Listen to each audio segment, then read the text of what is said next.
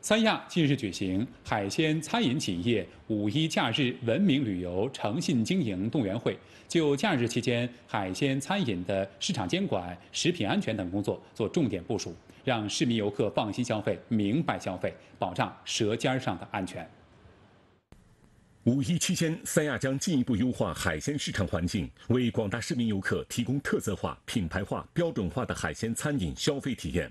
维护三亚市旅游城市良好形象。参会的海鲜餐饮企业表示，将明码标价、诚信经营，坚守呃诚信经营，然后文明经营。比如说像海鲜，它的呃斤数都会非常清晰的告诉给我们的客人。三亚着力增强餐饮行业自律。通过开展海鲜餐饮商家星级评定、海鲜餐饮精品加工店评定等活动，进一步规范商家经营行为，提高服务质量。针对的所有餐厅的话，无论是它的软件还是硬件的话，都有比较详尽的一个规定。今年会再评选出一批三星级以上的餐饮商家以及精品的海鲜加工店。希望呢，为今后游客来三亚消费的话，提供更优质的一个选择。